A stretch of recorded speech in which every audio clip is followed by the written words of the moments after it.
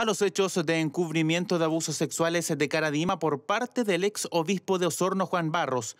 En la Araucanía surgen nuevos hechos donde menores de edad habrían sido víctimas de delitos sexuales por parte de sacerdotes.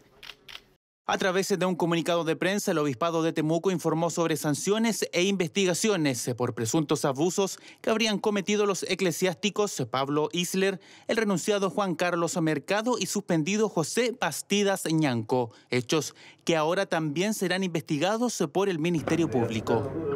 El Ministerio Público tomó conocimiento de que existían situaciones de eventuales agresiones sexuales a menores de edad.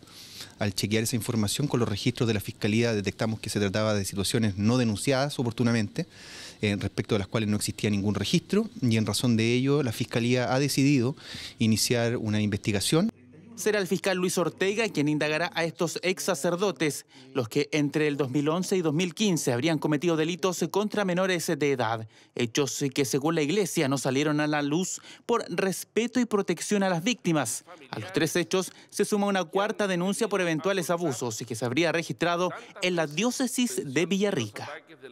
Que se trataba de agresiones sexuales a menores de edad, por lo tanto...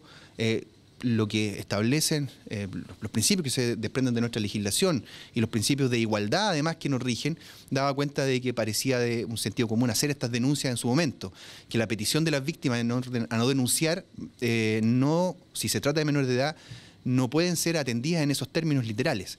Si hay eh, antecedentes que demostraban la existencia de delitos penales, debieron haber sido denunciados.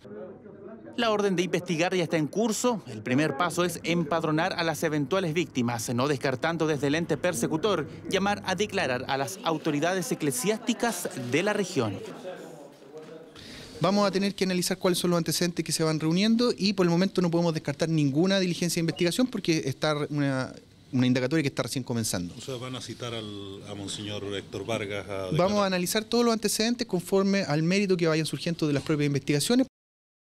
Cuatro casos de abuso se vuelven a poner en el centro de la polémica la Iglesia Católica. La Policía de Investigaciones es la encargada de realizar las primeras diligencias, las que con el tiempo podrían permitir formalizar al menos cuatro sacerdotes por delitos sexuales contra menores, esta vez ocurridos en la Araucanía.